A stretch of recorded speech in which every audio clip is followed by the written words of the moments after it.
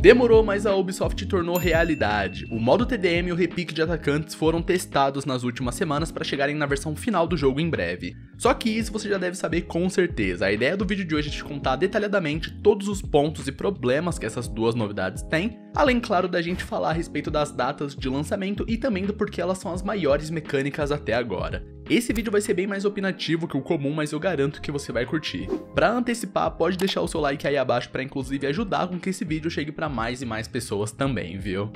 Durante os dois ou três últimos vídeos, vocês já viram a gente comentando bastante do modo TDM e do repique de atacante. E em um dos últimos vídeos eu comentei que o TDM e o Repique eu nem consegui testar muito bem porque a Ubisoft bloqueou os outros modos de jogo além do TDM no TTS. Mas agora eu consegui entrar em uma custom game com uma rapaziada e consegui testar tudo isso bem detalhadamente. Agora eu vou comentar com vocês o que eu consegui perceber e te informar também de como essas novidades funcionam na prática. De antemão já agradeço ao meu mano Henrique por ter organizado toda essa junção da rapaziada, o link do canal dele vai estar aqui na descrição e aí nos cards acima.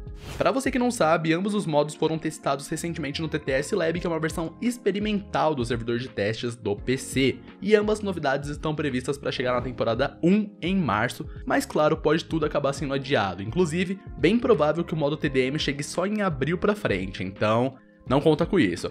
Para começar, vamos direto no famosinho, o modo TDM. Após 3 anos pedindo incansavelmente a adição desse modo, a Ubisoft fez acontecer, olha só. O modo mata-mata ele é perfeito para quem quiser aquecer a mira, reflexo e tudo mais para chegar estralando na rankedzinha. Inclusive, ele é mais legal e divertido do que eu esperava. Você mata e morre tão rápido que você nem nota. Não é tão punitivo morrer aqui no TDM quanto é na Ranked, por exemplo. Lá você morre e fica 4, 5 minutos quase só expectando os outros. Aqui você morre e em 2 segundos você tá de volta, é bem intuitivo. No TDM você pegou X operador e achou que não tá rendendo muito legal? Você tem todos os operadores e armas liberadas, exceto os escudões, claro. E o legal é que não tem restrição de operador, então você pode acabar vendo 10 ashes na partida, por exemplo. Mas na prática, você vai ver que no máximo 2 ou 3 operadores vão aparecer iguais. Como o Seed tem 62 operadores e mais de 100 armas, é bem difícil você ver geral utilizando o mesmo operador durante a partida toda, e isso é legal. O chat in game é desabilitado para ninguém ficar dando trash talk ou coisa tosca assim. O modo TDM ele não é só mais um modo de jogo, ele é o primeiro modo casual do Seed.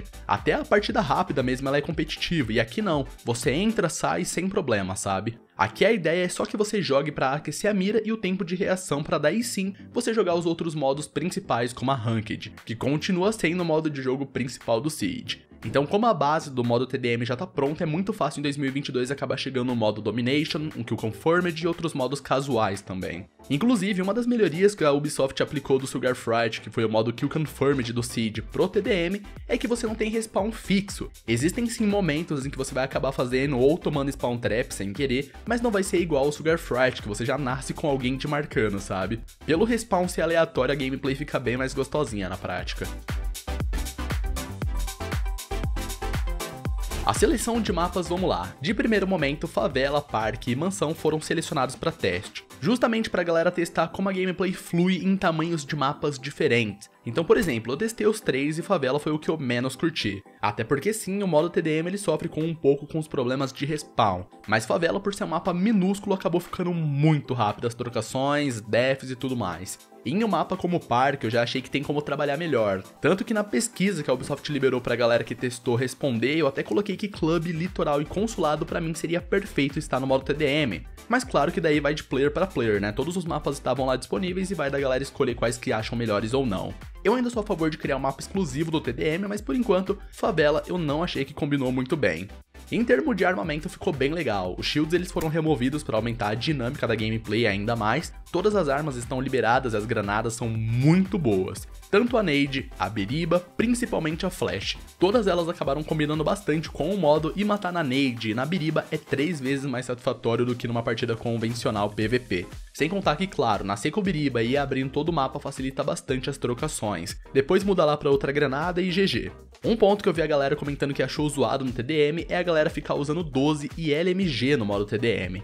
Rapaziada, sinceramente, vamos parar de chorar, pô. O modo TDM é feito para você aquecer a sua mira e o seu reflexo seja com que arma for. Por conta desse raciocínio tosco de só usar rifle e SMG, de 100 armas, 30 são utilizadas frequentemente no jogo. Explore mais armas e tá certo, o jogo se torna bem menos entediante quando você puxa um operador diferente, uma arma que não costuma ser muito utilizada, um mapa que a galera não joga muito e bora sem frescura. O que eu achei que corroborou um pouco com as 12 são os mapas pequenos. Então se a Ubisoft adiciona mapas na pegada de favela, é muito fácil jogar e matar com qualquer arma, principalmente com as escopetas. Agora em mapas médios para grandes, você pode jogar de 12, só que daí a dificuldade vai ser bem maior. Como precisa ser em um modo mata-mata, você sempre colando e procurando estar tá perto do adversário. E na maior que seja a distância, você já se ferra. Os mapas pequenos, cara, não combinaram mesmo no meu ponto de vista, mas novamente vai de jogador para jogador. Um ponto que eu não curti muito é que mesmo com toda essa proposta casual, ainda tem gente fazendo pixel em parede, parado do lado de uma porta com escopeta. E assim, eu sou bem de boa com isso, cada um joga do jeito que quiser, eu não vou ficar sendo o fiscal. Mas pô, num modo que é literalmente para você aquecer a sua mira, reflexo e tempo de resposta, não tem por que você ficar jogando assim. Quiser treinar pixels e posicionamentos, você faz isso numa caça terrorista, que o resultado vai ser bem melhor. Você dá a vida, como dizem no modo 100% casual, que nem chat in game e ranking estão habilitados, é bem chato, corta a dinâmica dos outros jogadores. Não precisa ter medo de morrer, morreu volta, mata e morre de novo, a ideia é 100% essa, entendeu? Só que claro, não vai esquecer que não existe respawn infinito quando for jogar ranqueada depois, viu? Joga certinho e da forma que você quiser mesmo.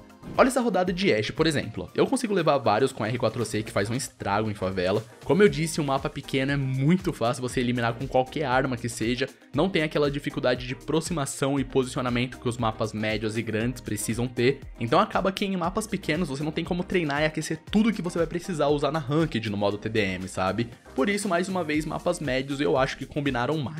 Outro ponto que a pesquisa que a Ubisoft fez aborda, e eu acho que é uma melhoria urgente pro TDM, é você recuperar a vida quando você elimina alguém. A ideia do TDM eu sei que não é ficar farmando streaks e eliminações como no COD, por exemplo. Pode ser assim no futuro, mas por agora essa não é a ideia principal. Porém, até em jogos como Valorant, a Riot já aplicou direto a chance de você recuperar a vida quando você elimina alguém. Só que lá você tem um tempo limitado para pegar o ícone de vida e recuperar sua vida por completo. Aqui no Siege, se fosse automático, você mata e já recupera uns 10 ou 15 de vida, seria bem melhor faria sua vida atual valer bem mais a pena, sabe? Eu ainda acho que o respawn pode ser melhorado, as partidas podem ter 6 minutos, 6 minutos e meio de duração. Todo esse feedback eu já passei e eu tenho fé que a versão final do TDM vai ser bem melhor do que essa vista agora. Outra novidade que já vem sendo discutida e desenvolvida internamente desde 2018 é o repique de atacante que permite com que você e o seu time mudem os atacantes e armamentos do time durante a fase de preparação. Cara, que mecânica absurda, ela funciona tão bem na prática quanto parece funcionar na teoria. Se liga, mesmo você tendo a chance de alterar os seus atacantes, você nem sempre vai precisar fazer isso. Às vezes você só vai corrigir alguma skin ou chaveiro que você aplicou errado e pronto. Nessa outra rodada em chalé, por exemplo, foi localizada a bomba no andar de cima, e eu já tava de IQ para pegar o caído de baixo e tal, então não tinha por que mudar de operador. Enquanto isso, sim, o meu time fez mudanças como de finca para jacal, e com esse cabeçalho na fase de preparação dá pra ir acompanhando além de qual operador o aliado tá escolhendo, quais são as armas e gadgets que eles estão trazendo. Então não tem mais aquela de, ah, alguém trouxe uma Claymore ou Smoke, você já olha ali direto para cima e vê quem tá com granada, smoke, bang e tudo mais. Acabou ficando uma informação muito clara e simples para todo o time. Mas ainda falta aquelas opções de você poder regular o tamanho dos itens da interface que faltou na interface por completa, né? Mas enfim. Nesse caso, por exemplo, além de alterar o pique do Blackbeard pro Flores, eu ainda consigo configurar certinho os acessórios e skins da minha arma tranquilamente sem pressa. Só que nesse caso com a Ibana eu demorei bastante para customizar e finalizar tudo. Daí faltando 3 segundos para começar a rodada, o próprio jogo fechou o menu e foi daquele jeito mesmo. Agora vamos lá, um ponto que alguns de vocês comentaram que seria desbalanceado é o fato do ataque poder trazer todos os operadores corretinhos para counterar a defesa. Na prática nem sempre vai ser assim, tá? Essa rodada em Oregon, por exemplo, foi a primeira defesa que a gente testou o repique, acabou que os adversários não coletaram tanta informação por conta das aranhas do Mose, e mesmo assim eles arriscaram trazer operadores como a Nuke pro avanço deles. A compra final deles era Zofia, Finca, Nuke, Ace e o último acho que era Twitch ou Kali. Então você percebe como o repique gerou a confiança para eles puxarem operadores universais como Zofia e Ace, e ao mesmo tempo os operadores diferentes como Kali e Nuke, isso vai acontecer com muita frequência agora. Atacantes que antes eram impossíveis de se arriscar a puxar como a própria Nuke podem começar a aparecer com muito mais facilidade agora, e isso é ótimo para o ecossistema de balanceamento do jogo. Trazer um mute vai se tornar bem mais frequente no começo para cortar esse tipo de informação dos atacantes. Não duvido nada que inclusive algum novo defensor parecido com o Mute possa estar a caminho, não sei. De qualquer forma, tanto o modo TDM quanto o repique de atacantes estão previstos para chegar na temporada 1 em março de 2022. Não é certeza que vai chegar em março, pode acabar chegando em abril, maio e assim vai, mas a ideia principalmente do repique de atacante é chegar em março. E mediante que tenha especulações que possa chegar um novo defensor, faz sentido o repique chegar também na temporada 1.